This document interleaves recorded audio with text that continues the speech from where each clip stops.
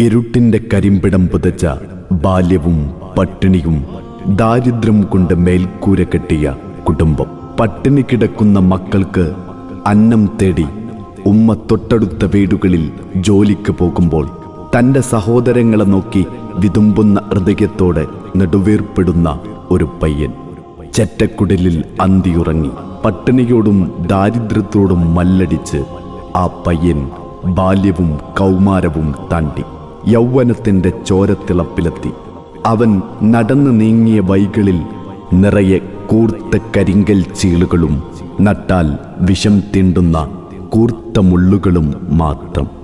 കൂടെ ഉമ്മയും സഹോദരങ്ങളും അടങ്ങുന്ന കുടുംബവും. അവിടെ നിന്നും ആ മനസ്സ് പാകപ്പെടുകയായിരുന്നു. സമൂഹത്തിലെ നന്മയുടെ ഉറവിടം കണ്ടെത്താനുള്ള പാകപ്പെടൽ. തന്റെ വീട്ടിൽ ഇതാണ് സ്ഥിതിയെങ്കിൽ ഈ സമൂഹത്തിൽ ഇതിലും വലിയ വേദന തിന്നുന്നവർ എത്രമാത്രം പേരുണ്ടാകും എന്ന ചിന്തയിൽ ഈ യുവാവ് സമൂഹത്തിലേക്ക് ഇറങ്ങി. ആ ഇറക്കം നമുക്ക് വേണ്ടിയായിരുന്നു. നമ്മുടെ സമൂഹത്തിന് വേണ്ടിയായിരുന്നു. ആയം കാണാത്ത കയങ്ങളിൽ പെട്ടുലയുന്ന അശരണർക്ക് വേണ്ടിയായിരുന്നു. അറ്റം കാണാത്ത മരുഭൂമിയിൽ പെട്ട് ദിക്കറിയാതെ വൈതെറ്റിയവർക്ക് വേണ്ടിയായിരുന്നു. വേദനയുടെ നീർച്ചുയയിൽ പെട്ടുപോയവരുടെ വേദന അകറ്റാനായിരുന്നു. മംഗല്യഭാഗ്യം സ്വപ്നം പോലും കാണാൻ അവകാശമില്ലാത്ത പെൺകുട്ടികൾക്ക് ജീവിതം നൽകാനായിരുന്നു. ജന്മം നൽകിയ കുഞ്ഞിന്റെ ജീവൻ നിലനിർത്താൻ വേണ്ടി പ്രയാസപ്പെടുന്ന മാതാപിതാക്കളുടെ പ്രയാസമകറ്റാനായിരുന്നു. ആരായിരുന്നു അവൻ? ഹൃദയം മാറ്റിവെക്കാൻ ഹൃദയം തേടിയവരുടെ ഹൃദയമാവുകയായിരുന്നു അവൻ. കരൾ കരിഞ്ഞു പോയവരുടെ കരളാവുകയായിരുന്നു അവൻ. എങ്ങോട്ടായിരുന്നു അവന്റെ യാത്ര? രാവിലെ വീട്ടിൽ നിന്നും ഇറങ്ങും. വയ്യോരങ്ങളിൽ നിൽക്കുന്നവരെ നോക്കി പുഞ്ചിരിച്ച് ആരെയോ തിരക്കി എങ്ങോട്ടോ എന്നറിയാത്ത യാത്ര. കിഡ്നി ഇല്ലാത്തവന്റെ കിഡ്നിയുമായാണ് അവൻ പലപ്പോഴും യാത്ര ചെയ്തത്. ഏതോ പെൺകുട്ടിക്കുള്ള വിവാഹത്തിനണിയാനുള്ള സാരിയുമായിട്ടായിരുന്നു അവന്റെ യാത്ര. എവിടെയോ കാത്തിരിക്കുന്ന രോഗിക്ക് മരുന്നും പണവുമടങ്ങിയ ബാഗുമായിട്ടായിരുന്നു അവന്റെ യാത്ര.